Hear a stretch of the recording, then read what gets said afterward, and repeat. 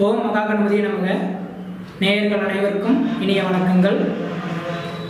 நம்ம இந்த வீடியோவின் மூலமாக கர்ம வினையை போக்கும் விளக்கேற்றும் ரகசியத்தை தான் இந்த வீடியோ மூலமாக பார்க்க இருக்கிறோம்.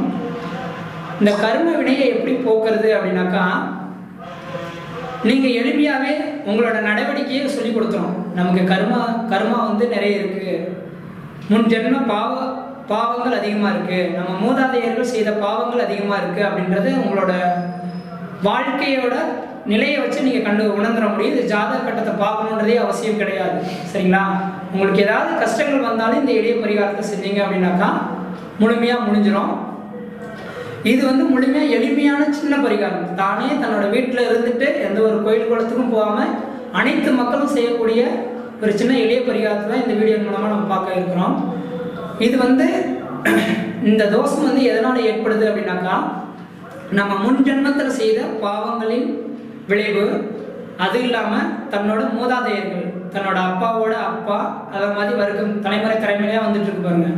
அந்த மூதாதையர்கள் செய்த நன்மைகளும் இருக்கும் தீமைகளும் இருக்கும். அதில் தீமைகள் அதிகமாக இருந்தால் இந்த கரும வினைகள் அதிகமாக போய் இதனால் நம்ம பாதிக்கப்படுவோம். இந்த கர்ம வினைகள் இருக்கிற வீட்டில் என்னென்ன நிகழ்ச்சிகள் நடக்கும்? என்ன க தவறான நிகழ்ச்சிகள் நடக்கும் அப்படின்னாக்கா ஒரு ஆண்மகன் இருக்காங்க அப்படின்னாக்கா காலகாலத்தில் திருமணம் நடக்காத நிலை ஏற்படும். குடும்பத்தில் வளர்ச்சி இல்லாத நிலை ஏற்படும். குடும்பத்தில் எப்போதும் சண்டை சச்சரவு ஏற்பட்டுக்கிட்டே இருப்பாங்க. வீட்டில் எந்த நேரம் பார்த்தாலும் ஒரு அமைதியான போக்கு ஏற்படாது. மன நிம்ம வீட்டுக்கு வெளியே வீட்டுக்கு வெளியே போயிட்டாங்க அப்படின்னாக்கா மன சந்தோஷமா இருப்பாங்க. ஆனால் வீட்டுக்குள்ளே வந்துட்டீங்க அப்படின்னாவே ஒரு மன விரக்தி மன பயம் வீட்டில் இருக்கவங்ககிட்ட யார்கிட்ட பேசுறதுக்கும் பிடிக்காத ஒரு நிலை அப்படி பேசினாலும் சண்டை சச்சரவு ஏற்படக்கூடிய நிலை வீட்டில் ஒரு சுபகாரியங்களும் நடக்காத நிலை இதெல்லாம் ஏற்படுத்துதான் இந்த கரும வினையோட செயல்பாடு? இதெல்லாம் எப்படி நம்ம போக்குறது அப்படின்றது பார்க்கும்போது இதுக்கு எளிமையான பரிகாரம் என்ன அப்படின்னாக்கா தன்னோட வீட்டில் இருக்கிறவங்க ஒருத்தர் மட்டும் செய்யணுன்றது அவசியம் கிடையாது. தன் குடும்பத்தில் உள்ள எல்லாருமே செய்யலாம் இது. நின்று இன்னைக்கு ஒருத்தவங்க இந்த விளக்கு ஏற்றுறாங்க அப்படின்னா நாளைக்கு இன்னொருத்தவங்க செய்யலாம். ஆனால் வீட்டில் இருக்கிறவங்க மட்டும்தான் செய்யணும். வீட்டுக்கு வெளியே வந்தவங்க அல்லது சித்தப்பா பெரியப்பா சொந்தக்காரங்க வந்திருக்காங்க இன்னைக்கு ஏற்றுங்க அப்படின்னு சொல்லக்கூடாது. வீட்டில் எத்தனை நபர்கள் இருக்கீங்களோ தாய் தந்தை தன்னோட வாரிசுகள் எத்தனை பேர் இருக்கீங்களோ அவங்க மட்டும்தான் இந்த பரிகாரத்தை செய்யணும். அதுக்காக தான் விரிவாக இந்த பரிகாரத்தை சொல்கிறேன் இது எப்போ செய்யணும் அப்படின்றத சொல்கிறேன் பாருங்க. இது இது வந்து காலையில் எழுந்து காலை நேரத்துலையும் மாலை நேரத்துலையும் ரெண்டு நேரத்துலையும் நீங்கள் செய்கிறது சிறப்பாக இருக்கும். இந்த விளக்கு வந்து வாசல் படிக்கும் வெளியில் சரிங்களா? தன்னோட வீட்டின் வாசல் படிக்கும் உள்ளே வச்சிடக்கூடாது. வாசல் படிக்கும் வெளியில் நீங்கள் வச்சுக்கணும் இந்த விளக்கை. இந்த விளக்கில் என்ன எண்ணெய் யூஸ் பண்ணணும் அப்படின்னாக்கா கண்டிப்பாக இழுப்பு எண்ணெய் மட்டும்தான் யூஸ் பண்ணணும். வேறு எந்த ஒரு எண்ணெயும் யூஸ் பண்ணக்கூடாது. இதுக்கு நம்ம யூஸ் பண்ணக்கூடிய திரி என்ன திரியா இருக்கணும் அப்படின்னாக்கா வாழைத்தண்டு திரியை மட்டுமே யூஸ் பண்ணணும். இந்த விளக்குல இழுப்ப எண்ணெய் வாழைத்தண்டு திரி இது ரெண்டையும் பயன்படுத்திட்டு அந்த எண்ணெயில் என்ன செய்யணும் அப்படின்னாக்கா சிறிதளவு எள்ளு சிறிதளவு டைமண்ட் கற்கண்டு நம்ம சாப்பிட்றோம் பாருங்க டைமண்ட் கற்கண்டு சின்ன சின்னதாக இருக்குல்ல அது ஒரு ரெண்டு மூணு பீஸு அடுத்ததாக நாலு கல்லுப்பு. இந்த மூணையும் அந்த விளக்கின் அந்த எண்ணெயில் நீங்கள் போட்டுடணும் எண்ணெயில் போட்டுட்டு காலையில் சூரியன் உதிக்கிறதுக்கு முன்பாகவே எழுந்து அந்த விளக்கேற்றுறவங்க கண்டிப்பாக குளிக்கணும். அதுதான் முக்கியம். சரிங்களா? காலை காலையில் எழுந்து அந்த விளக்கு ஏற்றுறவங்க கண்டிப்பாக குளிக்கணும்.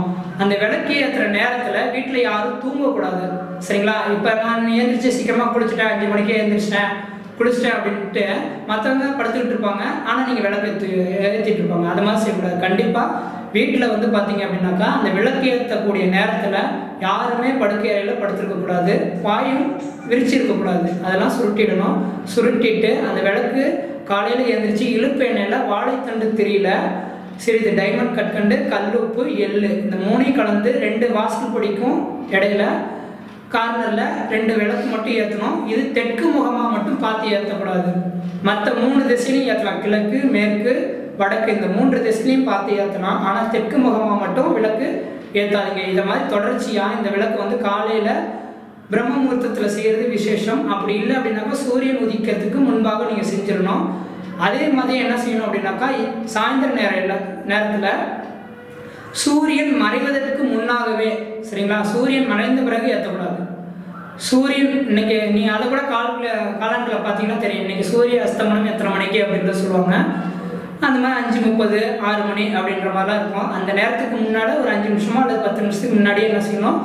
அதே அந்த அந்த விளக்கு வந்து மாற்றணுன்றது அவசியம் கிடையாது. இந்த திரியெல்லாம் மாற்றணுன்றது அவசியம் கிடையாது. காலையில் விளக்கு ஏற்றுனீங்க அதில் திரி இருக்குது எண்ணெய் இருக்குது அப்படின்னாக்கா அந்த திரியை தூக்கி போட்டுட்டோ எண்ணெயை மாற்றிட்டோ மாற்றணும்னு அவசியம் கிடையாது. அது தொடர்ச்சியாக இருபத்தொரு நாளுக்கு அந்த விளக்கே பயன்படுத்தலாம். அந்த திரி நல்லா இருக்க வரணும் நீங்கள் பயன்படுத்தலாம். அது தீ- பட்சத்தில் இன்னொரு திரியை நீங்கள் பயன்படுத்திக்கலாம். சரிங்களா? அந்த விளக்குல உள்ள எண்ணெயோ அந்த டைமண்ட் கற்கண்டையோ மற்றதையும் மாற்றணுன்ற அவசியம் கிடையாது. அதே மாதிரி ஈவினிங் என்ன செய்றீங்கன்னா சூரியன் அஸ்தமனம் ஆகிறதுக்கும் முன்பாகவே இந்த விளக்கு ரெண்டு விளக்கும் நீங்கள் காலையில் குளிச்சா போதுமான ஈவினிங் ஒரு தடவை நான் குளிச்சுட்டு தான் விளக்கு ஏற்றணும் அப்படின்றது கிடையாது. காலையில் குளிச்சா போதுமானது ஈவினிங் என்ன செய்றீங்க? அந்த ரெண்டு விளக்கு அது மாதிரி ஏற்றிட்டு தொடர்ச்சியாக இது இருபத்தி ஒரு நாட்கள் செய்யணுங்க. கண்டிப்பாக வீட்டில் பெரிய ஒரு கஷ்டம் இருக்குது மன கஷ்டம் உருவாயிடுச்சு. திருமணமே வீட்டில் நடக்கலை. ஒரு சுபகாரியமும் நடக்கலை. மன ஒரு வாழ்க்கையில் ஒரு முன்னேற்றத்துக்கு ஏற்பட போகக்கூடிய நிலைமை இல்லை அப்படின்ற பட்சத்தில் கருமா இருக்குன்றது அர்த்தம். இதை தொடர்ச்சியாக நீங்கள் இருபத்தி ஏழு நாள் வீட்டில் ஏதாவது பெண்கள் வந்து தீட்டாக இருந்தாங்க அப்படின்னாக்கா அவங்க செய்ய வேண்டிய அவசியம் கிடையாது. மற்றவங்க செய்யலாம். இப்போ இவங்க ரெண்டு மூணு நாள் செய்ய முடியாதே அப்படின்ற மாதிரி நீங்கள் நினச்சிட்டு அதை விட வேண்டாம். சரிங்களா? வீட்டில் உள்ள வீட்டில் இருக்கிறவங்களுக்கு தோஷம் கிடையாது. சரிங்களா? அவங்க மட்டும் விளக்கு மட்டும் ஏற்றாமல் இருந்தால் போதுமானது. மற்றது மற்ற இருக்கவங்க ஆண்களும் விளக்கு ஏற்றலாம் இதில். சரிங்களா? இது வந்து பெண்கள் மட்டும்தான் விளக்கேற்றணுன்றது அவசியம் கிடையாது. ஆண்களும் இதை விளக்கேற்றலாம். இதை தொடர்ச்சியாக இருபத்தி ஏழு நாட்கள் மட்டும் உங்கள் வீட்டில் செஞ்சு வந்தீங்க அப்படின்னாக்கா இழுப்பெண்ணையில் போட்டு நீங்கள் செஞ்சு வந்தீங்க அப்படின்னாக்கா வாழ்க்கையில் உள்ள கருமாக்களை முழுமையாக அழிச்சிரும் அப்படின்றாங்க. சரிங்களா? கருமாங்கிறது முன் ஜென்மம் செய்த பாவங்களின் செயல்பாடு தான் அப்போ அந்த நேரத்தில் நடக்கக்கூடிய கஷ்டத்தை வந்து முழுமையாக நீக்கிடலாம். மன சஞ்சோ சந்தோஷமும் உருவாயிடும். வீட்டில் சுப நிகழ்ச்சிகள் நடக்கிறதுக்கான வாய்ப்புகளும் ஏற்படும். இதை தொடர்ச்சியாக செஞ்சீங்கனாலும் வாழ்க்கையில் மிகப்பெரிய உயர்வு அடைய போகிறது கண்டிப்பாக உன்னதமான நிலை. குறிப்பாக சொல்லணும் அப்படின்னா தொடர்ச்சியாக இருபத்தி ஒரு நாள் இது கண்டிப்பாக ஏற்றணும். இது ஏற்றுனீங்க அப்படின்னா கண்டிப்பாக கரும வினையிலிருந்து தப்பிக்க முடியும். இதுதான் ஒரு எளிமையான பரிகாரம். நன்றி வணக்கம்.